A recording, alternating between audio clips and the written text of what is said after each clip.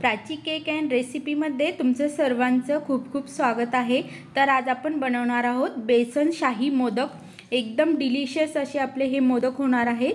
तर तुम्ही मोदक कशा प्रकारे बनवायचे हे पाहण्यासाठी व्हिडिओ पूर्ण पहा. तर चला करूया मग आपण आता.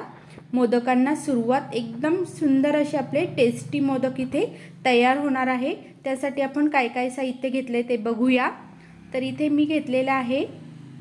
सुरुवातीला आपण बघणार आहोत बेसन पीठ नंतर डिसिकेटेड कोकोनट घेतलेलं आहे. इथे दूध घेतलेलं आहे. क्रीमयुक्त आहे हे दूध.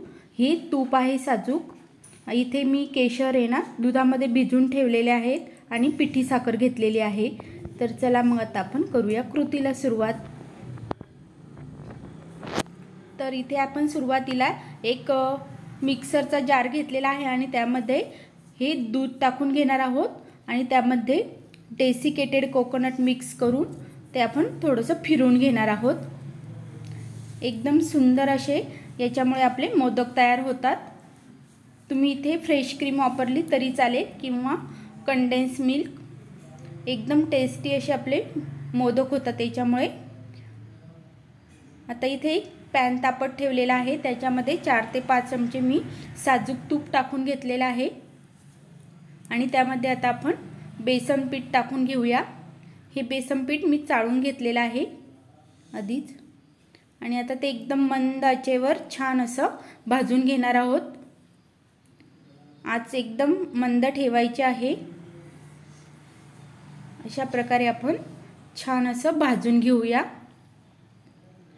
हे बघा अशा प्रकारे आपलं छान असं पीठ भाजून झालेलं आहे आणि आता त्याच्यामध्ये आपण जे डेसिकेटेड कोकोनट आणि दूध मिक्स करून घेतलेलं होतं ते टाकून घेतलेलं आहे. ते आता आपण एकदम एक मिक्स करून घेऊया. मस्त असं मिक्स करून घ्यायचं आहे. खूप छान असे आपले मोदक इथे रेडी होणार आहे. बप्पांना प्रसाद म्हणून तुम्ही नक्की एकदा ट्राय करा अशा प्रकारचे मोदक. आता पिठी साखर घालून घेतली आपण.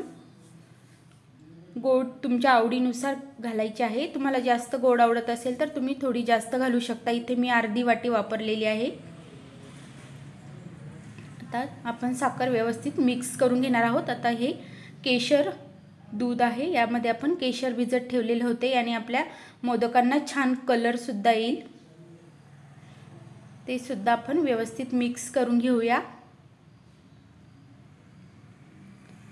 छान असं मिक्स झाल्यानंतर आता आपण ते काढून घेणार आहोत. बघा किती सुंदर कलर आलेला आहे आपल्या मिश्रणाला. केशरमुळे. आता आपण ते काढून घेतलं आहे आणि थंडसुद्धा झालेलं आहे आपलं मिश्रण. तर आता आपण ते इथे मोदकांच्या आतमध्ये भरण्यासाठी सारण बनवून घेऊया. इथे मी दोन चमचे मिल्क पावडर घेतलेले आहे आणि त्यामध्ये दोन चमचे डेसिकेटेड कोकोनट टाकून घेऊया. डेसिकेटेड कोकोनट आणि ड्रायफ्रूटसुद्धा आपण त्यामध्ये मिक्स करणार आहोत. खूप छान असे हे आपले टेस्टी मोदक लागतात याच्यामुळे. थोडासा पिस्ता काप पण टाकला आहे. काजू बदाम पिस्ता आणि किसमिस तुमच्या आवडीनुसार आहे. तुम्हाला जे जे पाहिजे ते ते तुम्ही ड्रायफ्रूट्स इथे वापरू शकता. आणि यामध्ये आता आपण दूध टाकून घेऊया. दोन ते तीन चमचे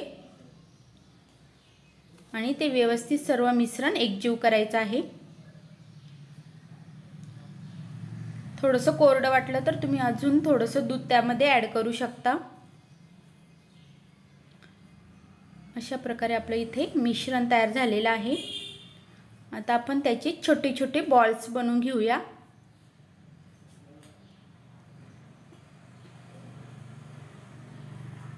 हे बघा अशा प्रकारचे मी त्याचे छोटे छोटे बॉल्स बनवून घेतलेले आहे. आणि आता आपण मोदक करूया. इथे मी घेतलेला आहे हा मोदक साचा. त्याला थोडंसं साजूक तूप लावून घेतलं आहे आपले मोदक चिटकू नाही म्हणून. आणि आता आपण अशा प्रकारे मोदक बनवत आहोत बघा. कृतीमध्ये तुम्हाला दिसतच आहे. तिन्ही पाऱ्यांना आपण व्यवस्थित पीठ लावून घेऊया आणि त्यामध्ये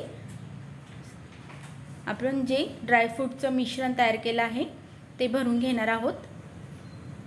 अशा प्रकारे. आणि आतमध्ये आता आपण हे बॉल्स ठेवूया. मिश्रणाचे. एकदम मस्त असे आपले इथे मोदक रेडी होणार आहे. बघू शकता असं पूर्ण दाबून घ्यायचं आहे बोटाने. आता आपण काढून घेऊया मोदक. एकदम सुंदर इथे आपला मोदक रेडी होणार आहे. हे बघा किती सुंदर आपला मोदक इथे तयार झालेला आहे. वरून गार्निशसाठी मी थोडासा पिस्ता कापसुद्धा लावलेला आहे. आता इथे ही माझ्याकडे आहे एक मोदक पट्टी. तिचा पण मी इथे मोदकांसाठी वापर करणार आहे. तुम्हाला जे सोयीचं वाटेल त्यानुसार करा. यात पण छान असे आपले मोदक तयार होतात. हे बघा. या म इथे मी जरा वेगळ्या प्र पद्धतीने तुम्हाला दाखवलेलं आहे. अशा प्रकारे पण तुम्ही मोदक बनवू शकता. हे बघा किती सुंदर आपले मोदक तयार झालेत.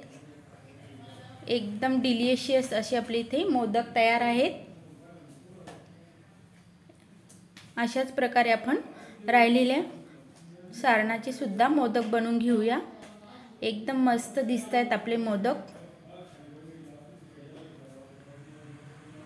आता आपण राहिलेल्या सारणाचे पूर्ण मोदक बनवून घेतलेले आहे इथे. आणि मी त्याला थोडंसं सिल्वर वर्कसुद्धा लावलेलं आहे. बघू शकता किती सुंदर दिसत आहेत त्यामुळे आपले मोदक. एकदम टेस्टी आणि डिलिशियस असे आपले इथे मोदक तयार आहेत. एकदा ट्राय करा बप्पांच्या प्रसादासाठी. आणि कसे झाले हे मला कमेंट्स करून नक्कीच कळवा. तर तुम्ही माझ्या चॅनलवरती नवीन असाल अजून चॅनलला तुम्ही सबस्क्राईब केलेलं नसेल तर प्लीज लाईक करा शेअर करा आणि सबस्क्राईब करायला विसरू नका. भेटूया पुढील व्हिडिओमध्ये तोपर्यंत बाय